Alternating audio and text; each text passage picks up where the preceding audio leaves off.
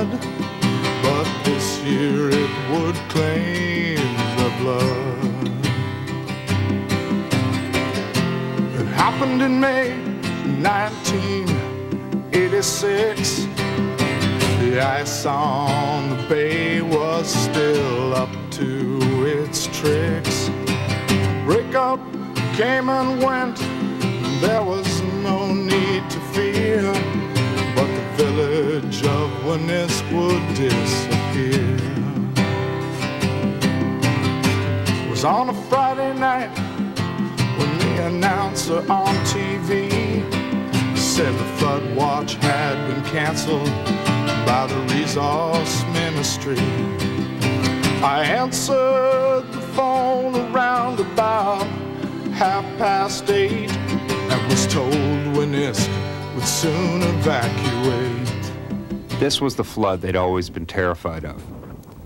Spring breakup along northern rivers always brings high water, but this flood was a killer. Two people died in those icy waters. There used to be 70 buildings here. After the Winisk River flooded, there were five. Linda Hunter's just 14 years old.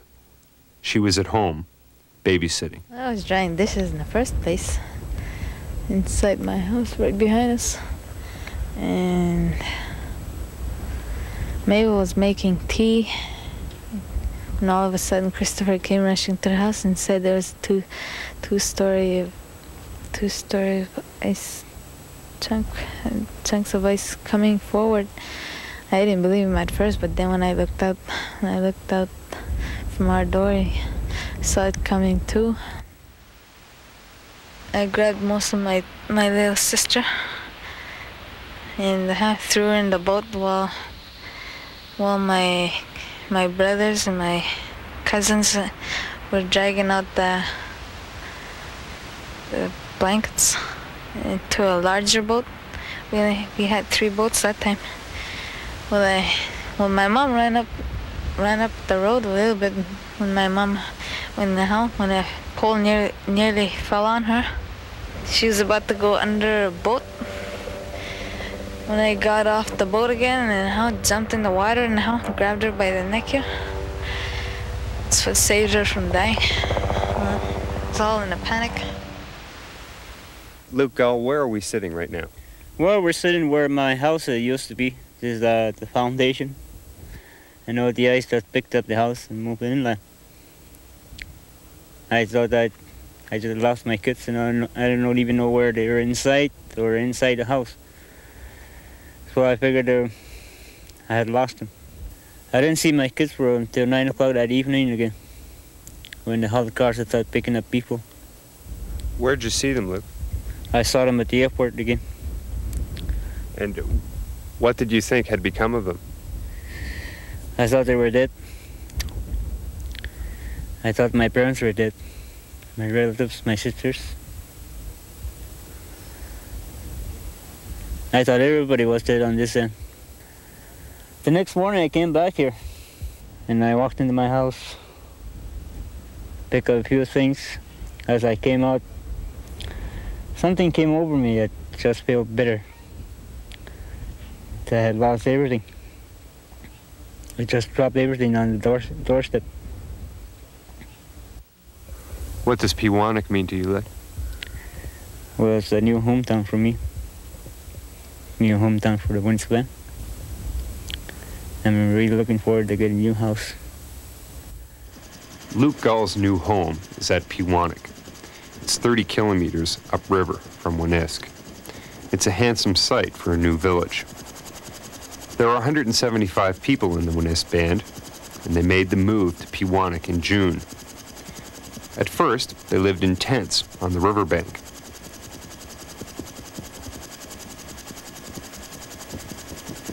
By July, they'd started building their houses. There's an irony there. The Winisk people had been lobbying to leave for close to 20 years. They knew the old village was likely to get flooded. Band members even wore buttons that read, Peawanuck, the promised land. Within weeks of the 1986 flood, government agreed to pay for the move.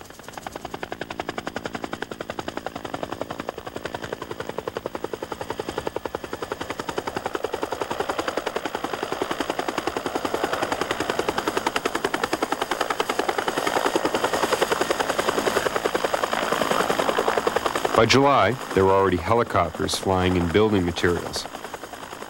For Chief George Hunter and his people, Peawanuck holds special meaning.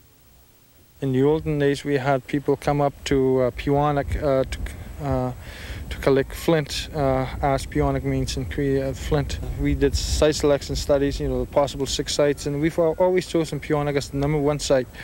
And it's been over 20 years, and I think uh, we may have gone, I don't know, maybe uh, close to uh, uh, 10, over 10 chiefs, maybe. Uh, like I've been working and pursuing the the relocation uh, issue for the last six years. George Hunter and his council, the elected officials, masterminded this move. The 28 year old Hunter was achieving a goal that had eluded other chiefs for a generation. The finances uh, that were required were never there. We uh, did a lot of studies and you know we met all the requirements that the bureaucrats wanted us to do and we went through all their processes and they never came up with the money. And, and that was the, the whole thing that uh, that that held up relocation. The determination that built Peawanuck was partly fueled by anger. Anger over what it took to get a bureaucracy to act. Well it's kind of disheartening you know when you have to lose two people to make it happen.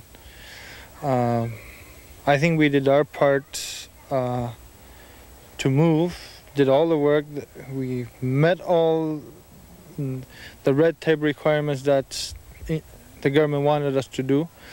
And you know, it's really disheartening to finally get the government to assist us financially. It's it has always been the financial question to uh, to make relocation a reality. And you know, having having have lost uh, uh, two people, you know, it's it's it's really you know really something that's not acceptable to a lot of us in the community to finally get the government to assist uh, or to finance this this relocation that we're having today.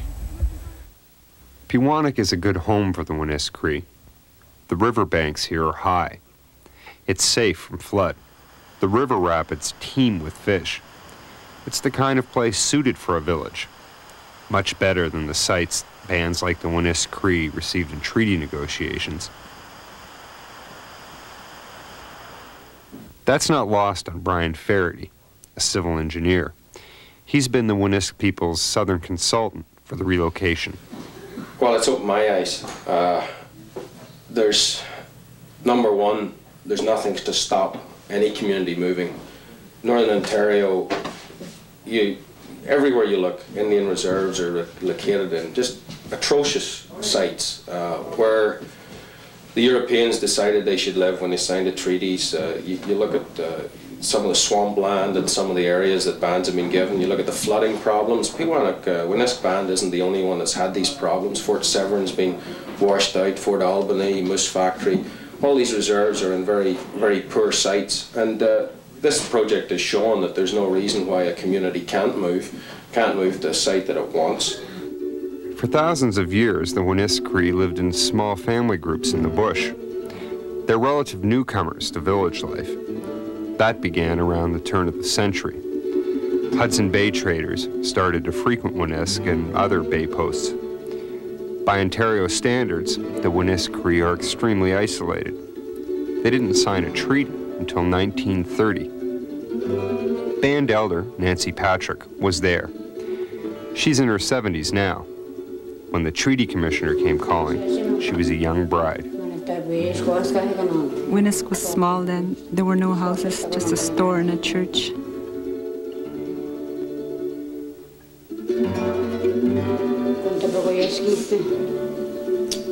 People went to their traplines to survive. They lived in the bush in winter. In the summer, they would return to Winisk.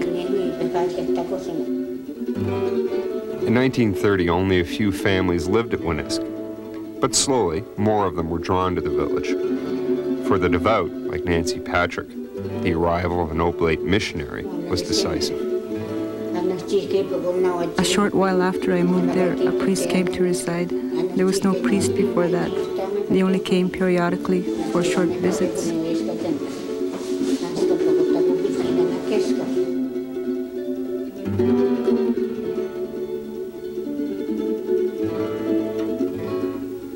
Another force that persuaded people to settle at Winisk was the military. It was the 1950s. The Winisk Cree became unlikely partners in the Cold War. Radar bases were constructed across the north. One was put right across the Winisk River from the village. For a while, the base provided jobs for the people, but it soon became obsolete. The base shut down in 1965. All that's left are these dilapidated buildings.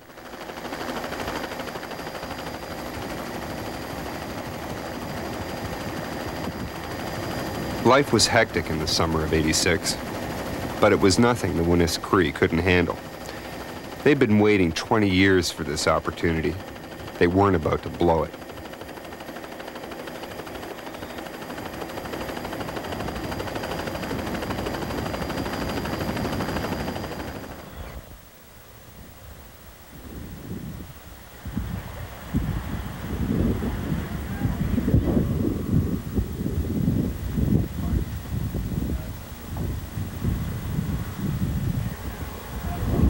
Many adults worked 18 hours a day. Even so, village life continued in the tent city. People kept up with their chores cooking, cleaning, doing the laundry, drawing the odd caribou hide.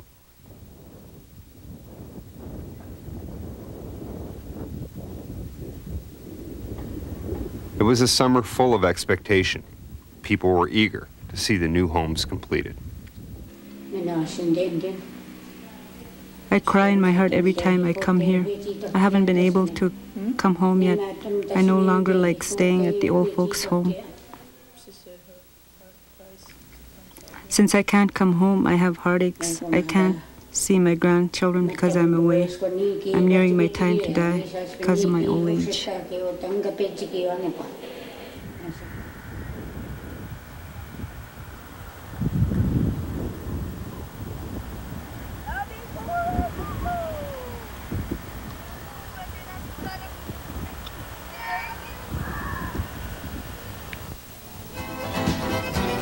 Work proceeded at a feverish pace throughout the summer. It was 16 hours a day, seven days a week, right until autumn.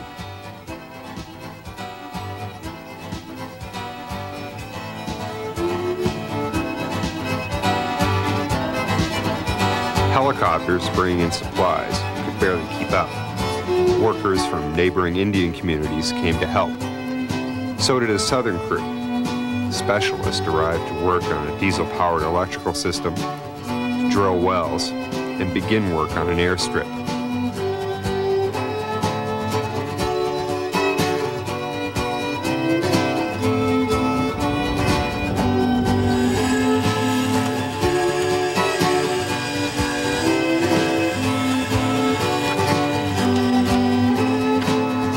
They wanted to build the houses before Christmas.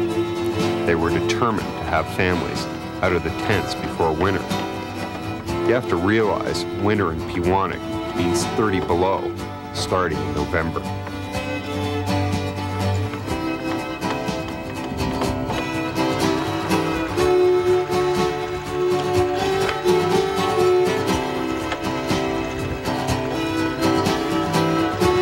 It was a tight schedule by anyone's standard. Morris Mack, band's assistant project manager, had his doubts.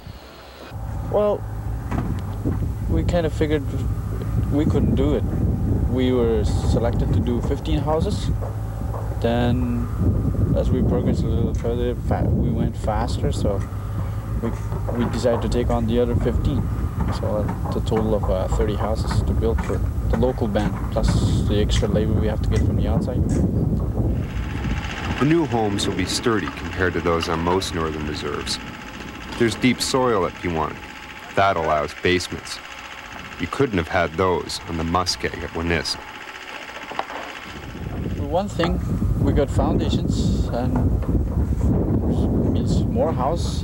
And um, another thing is uh, they'll be solid and not compared to uh, the the ones on the old side. They every time there was a permafrost, they move and shift around.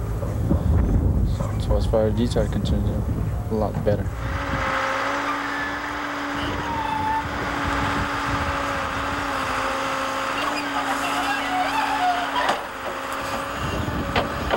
The Winisk Cree learned a lot of new stuff that summer. This girl climbed on the backhoe one day. After a little training, the job was hers for the summer.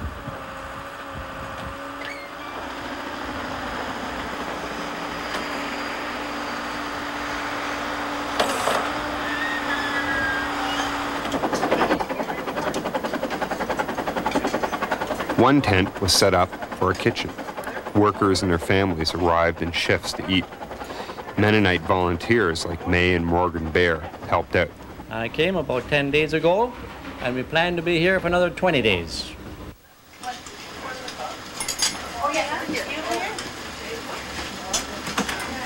In the morning, I get up about half past five, quarter to six, and we prepare uh, bacon for about 20 to 25 men, and uh, fry, poach, scrambled eggs, make toast, and have hot cup of coffee available at all times. Well, one thing that's very particular and outstanding in my opinion is that there is absolutely no plumbing, no hot water on tap. We carry the water in, we carry the water out, and uh, hopefully we don't have to climb down the well to get it. I wish I could stay here longer. How come? I enjoy the people. They're, they're cheerful, they're cooperative, and appreciative.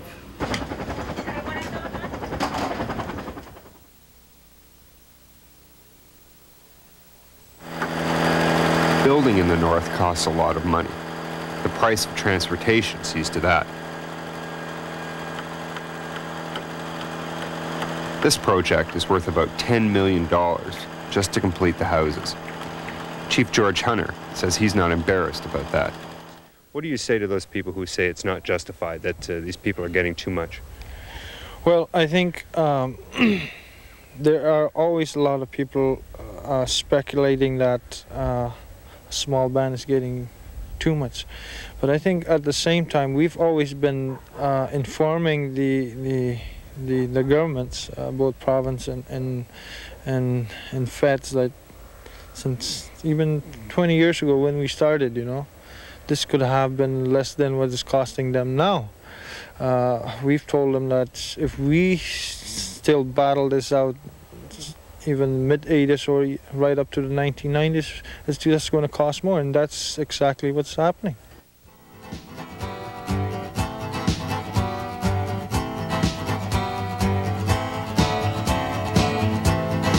We took time during our summer visit to check out the surrounding territory. To a southerner, the Hudson Bay coast might appear a wasteland. It's actually full of life. Home to the whistling swan,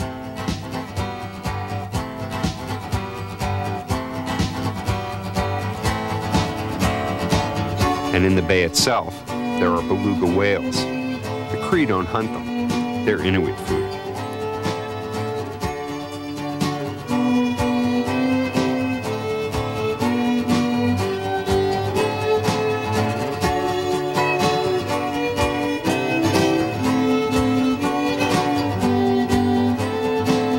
The Winisk Cree do rely on most of the local animals.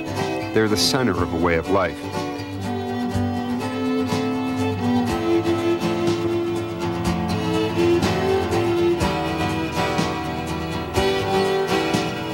Here's Dominic Hunter, a young band member. It offers a lot of freedom, distance. It's uh, one of my greatest pastimes has been uh, hiking and just plain just romping around the land, you know.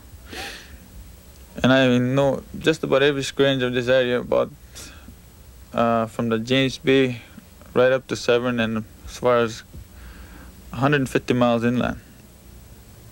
And it's a nice country, has a lot to offer. Anything from um, wildlife to trees to uh, maybe mineral, maybe even minerals and stuff. They don't call part of this territory Polar Bear Provincial Park for nothing. Some of these beasts weigh 600 pounds. The Cree hunt them under strict limits that the band enforces. This is an old rifle my dad bought in 1969 somewhere, and um, I've used it just about everything. What kind of It's, rifle uh, is it? It's a Remington Model 788 in the 30-30 caliber, and uh, they don't make them anymore. and I uh, altered it quite a bit. Like I, there used to be a comb on here and free floated the barrel, lightened the trigger, put a scope on it, which used to have iron sights. And I shot everything from it, from smallest uh, ptarmigan right up to polar bear.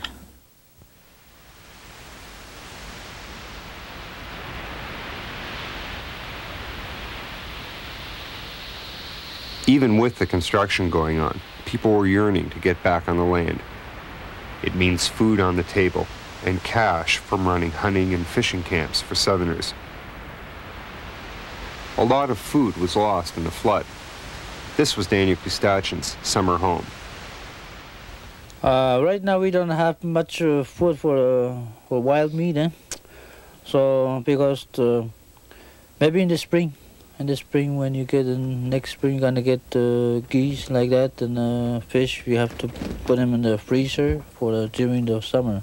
But in the spring we got lots of geese. Everybody was uh, putting geese in the freezer, and we get a flood. Everything's gone.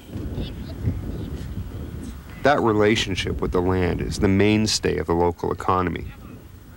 These more or less traditional activities combine with construction, service, or band administration jobs to help keep the Winisk Cree independent. What makes me proud of this community is that only five people are on welfare recipient. You know, they're wealth, welfare recipients, and usually only five people, and out of uh, out of uh, out of 170 people, and somehow. uh, they blend, I guess, uh, the things that they get from trapping, hunting, and fishing, and you know the mixed economy that that that comes out of this. Somehow they uh, they make it through a year. What can they do? Give me a, a sense of what, what's available out there. What, what when you talk about a mixed economy, what can they get from the land to sustain themselves? Well, for instance, with trapping, you know, obviously you, you there's a whole variety of, of pelts, anywhere from polar bear pelt to beaver and so on, and and um, when people start using uh, beaver, for example, as food, you know, it doesn't cost them anything to or doesn't allow them to run to to the store or something to get food. And you know they get the food from from from out there like uh, caribou uh, some people average over 20 caribou a year uh, per individual. And that's that's a lot of meat right there. And and the women make uh, clothing uh, or uh, handicrafts out, out of the of the hides that they make. So you know that, that's the type of thing that they exercise in in order to have uh, uh, their family inc- income stable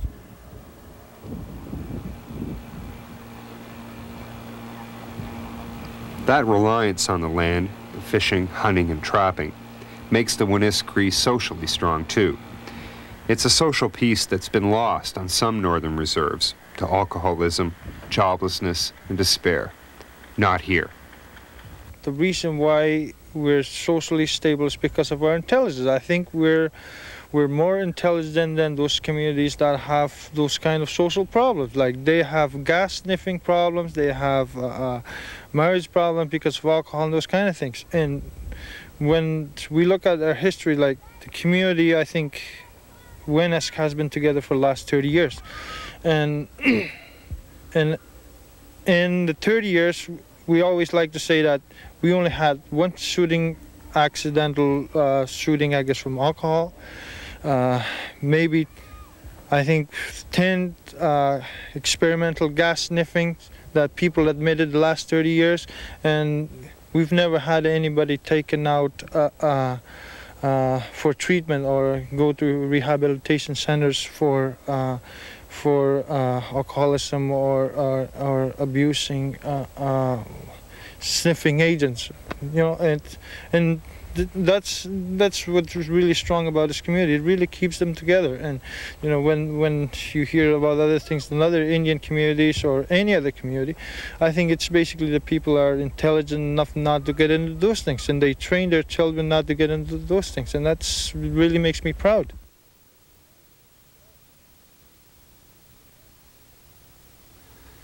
We returned to Peawanuck in December. The transformation was amazing. The houses were completed ahead of schedule. Families had moved out of their tents in minus 30 degree temperatures to insulated, wood heated homes. Susan Bird is a single mother. She's a teacher's aide in a local school. She and her kids were glad to be out of a drafty tent.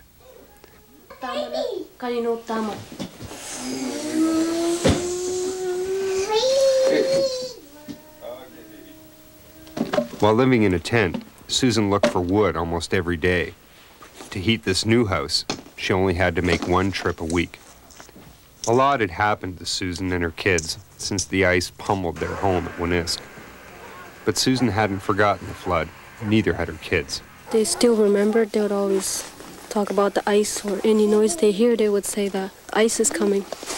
They remember seeing the ice when we were in the boat.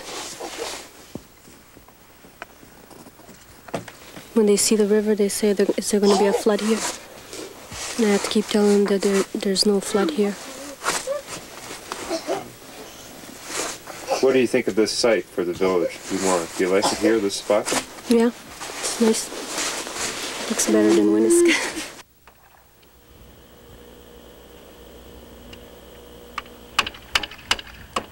Life was getting back to normal. Mike Hunter had time to build a new sleigh or tabanask, to use the Cree word. These things are used for almost everything in the winter around here, from going to church to hauling supplies on long hunting trips.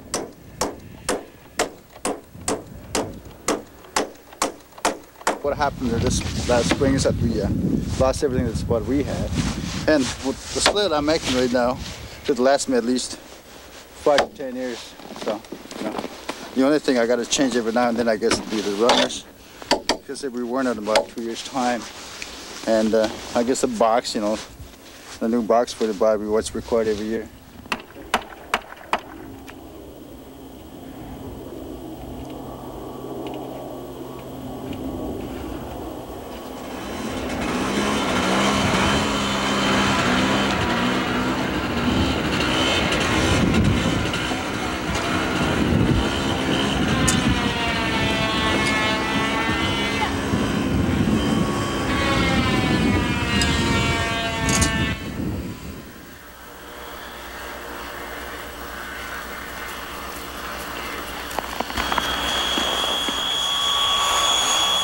By December, the Peawanuck airstrip had been completed. Two or three flights a week bring in visitors, construction supplies, and goods for the local store.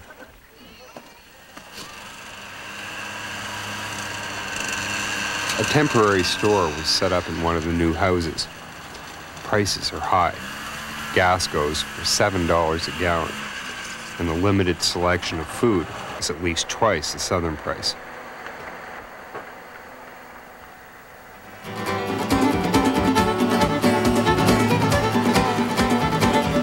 The return to normal life means that men like Daniel Kostachin can get back on the land. Daniel was able to resume trapping. Came for wood and then I saw uh, fresh tracks, uh, fox traps, so I thought I'm gonna get that animal for uh, to use it on a meat, on a service like that.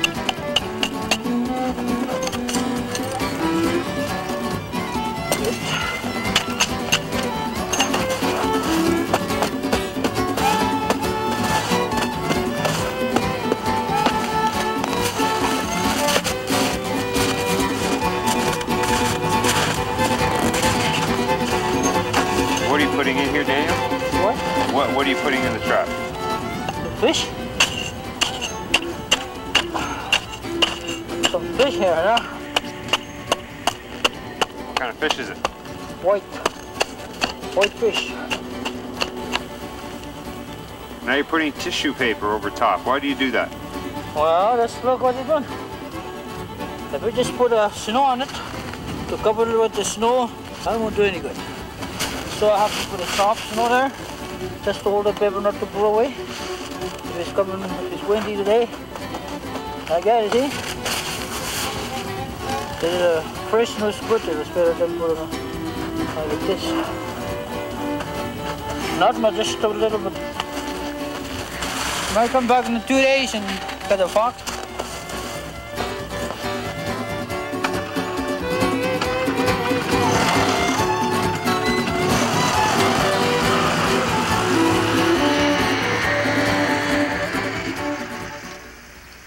A winter's dawn on the Winisk River, the hour hunters often choose to set out for caribou.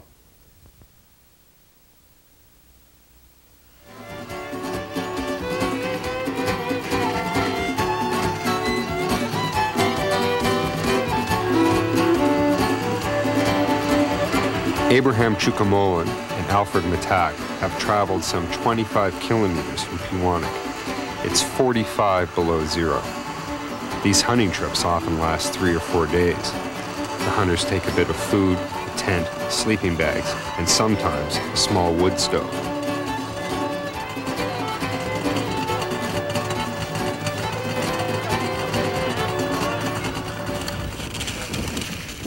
Late in the day, Abraham and Albert find some tracks. This would normally mean the start of hours of carefully tracking the caribou by skidoo, then on foot.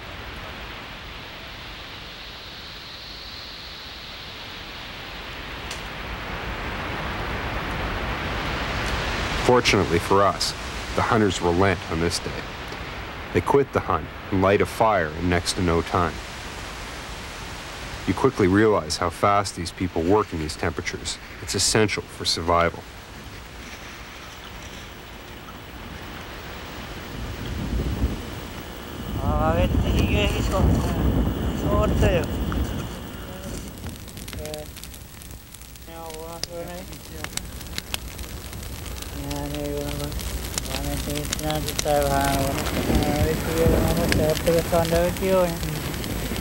Eso.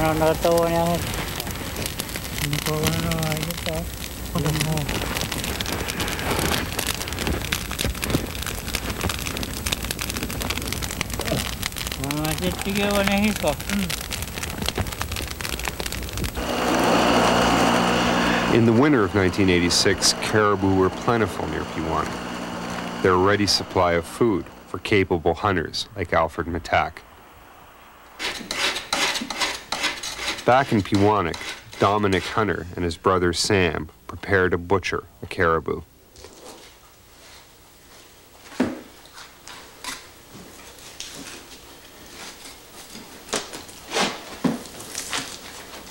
This is the reality of these people's lives. The meat, fur, and hide from this caribou are an alternative to welfare.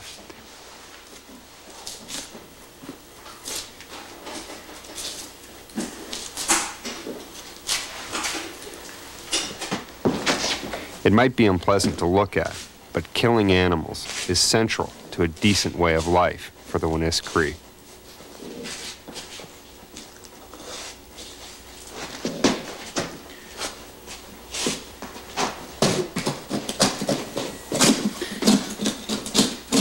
There's a place where the bone is soft here. That's where you cut.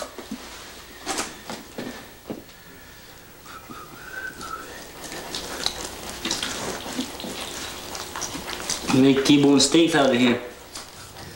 There's some new over there too.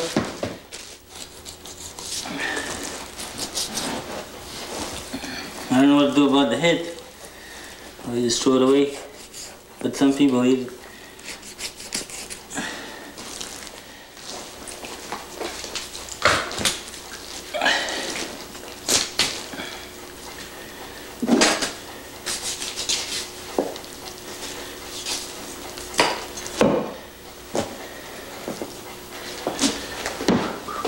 Take out the hair, the fur, and smoke it. Yeah. And make moccasins and mitts. And you can make uh, snowshoes with it too. And what about the meat now? Where's it going to go? It's gonna go to my stomach.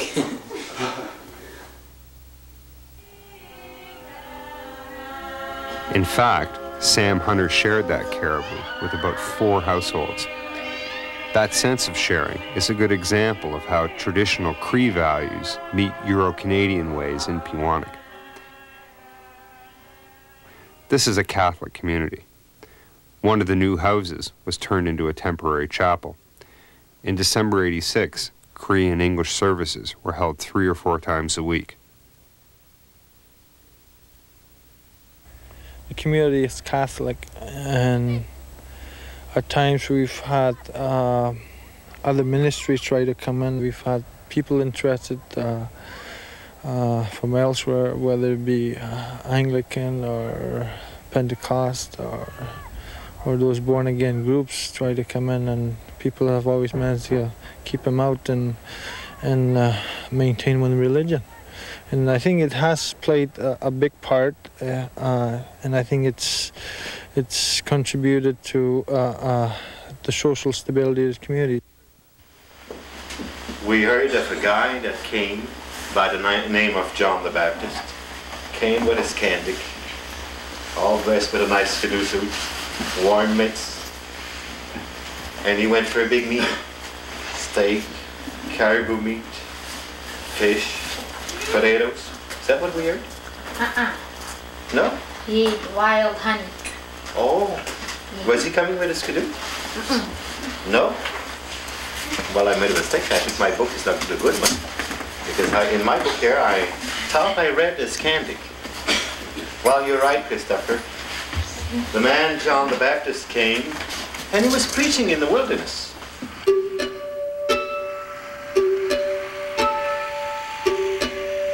In December, Xavier Wabano died. He was a respected elder. His death was fitting in a way. Peawanuck is in the Wabanos hunting territory. Xavier had long favored a move here. He was the first band member to die in the Promised Land. His funeral was typically informal. Kids rode along on the sleigh that was carrying the casket.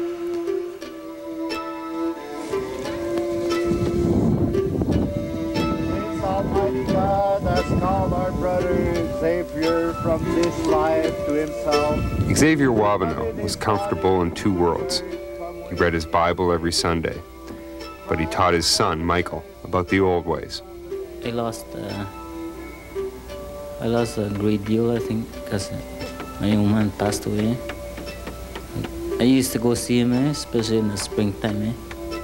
I used to go see him uh, when the geese are to arrive and all that. I used to go see him. What do you think is the weather is going to be like? I used to tell him? He used to be pretty good at predicting the weather. Three weeks ago, he told me, yeah, something's going to happen to us. He said, but he can't tell exactly what he just said. Uh, something is going to happen. And what he was trying to say was, uh, prepare yourself. Eh? Something is to happen to us again. He said. Then he died. Eh? That's what he meant. But he can't exactly. Like, he's not a wizard. Eh? But he has. He had those visions. Eh? A long time ago, uh, my people used to believe that somebody came and he said he would come again. So what happened when the missionaries came was that they they merely reinforced what we believed in.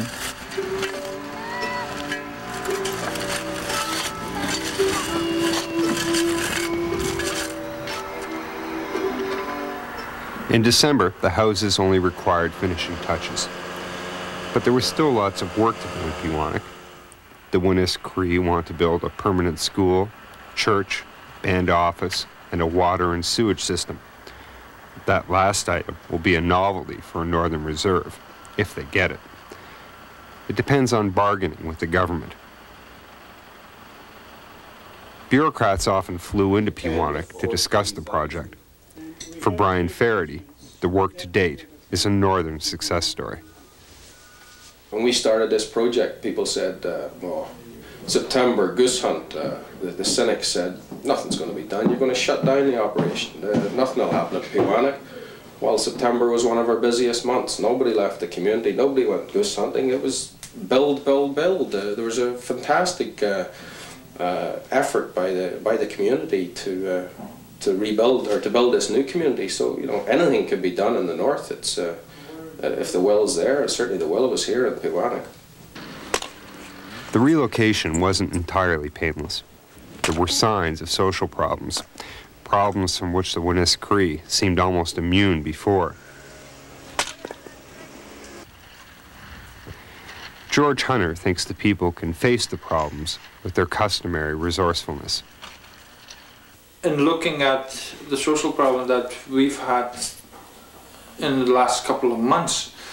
Uh, they've been really dramatic. We've had some uh, uh, uh firearm in, in incidences and uh, property broken. You know, very minimal, but you know, it's it's enough to uh, um, to get people, you know, to, to be uncomfortable about the whole thing because it's something that's never happened in, in, our community before and and you know in a sense a lot of people are very dissatisfied that these things are are happening. Uh, in terms of the of the drinking aspect of it I think it is very um, uh, very premature. I, I, think it would be very premature on my part to, to run to the OPP every time that uh, something has happened. I think uh, we have a dialogue here that as Indian people, you know, Indian to Indian uh, dialogue, you know, that we have. And I think uh, the way I'm going to be dealing with it is talk to people, you know. It, it, it's not required, it's not part of us uh, um, I don't think it's the solution to, to, to run to the OPP and say, look, we got a problem, deal with it for us. I think it's it's going to be more more realistic and more uh, uh, satisfying to me if I go talk to the people that are creating the problems or that are having the problems.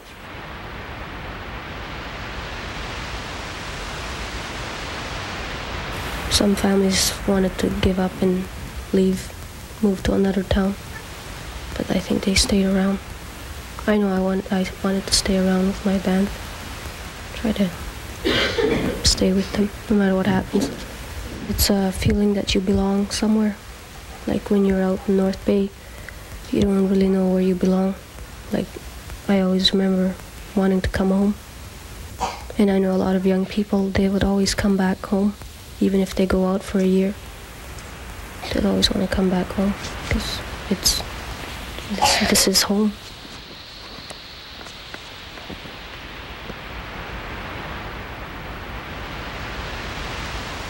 On the day of the flood, Luke Gull was terrified that his kids had drowned. Eight months later, his family enjoys a new life in Peawanuck. I have uh, learned like uh, to respect more with my people, you know, and in turn they respect me for help them out and they help me out.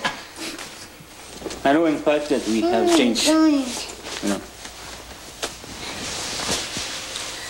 Some uh, negative ways and some in positive ways, you know. Like uh, in positive ways, I would say that every, everybody make an effort to help out each other. Anyways, uh, the project is just about all complete. Only the band members will be will be left, and we will try to uh, to correct those uh, negative things. I always try to look on the part of the site that everything back in normal.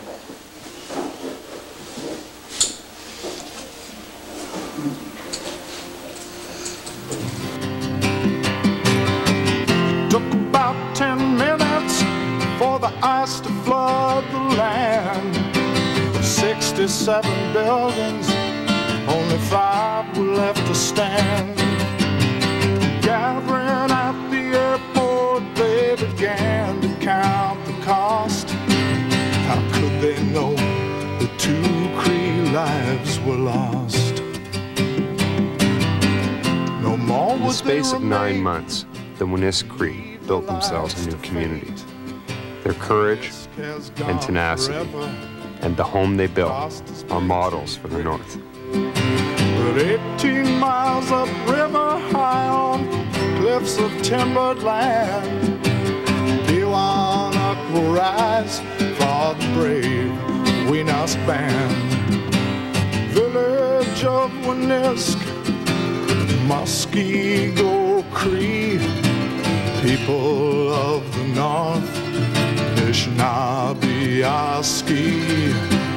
Each year they'll prepare for the annual flood, but no more will it claim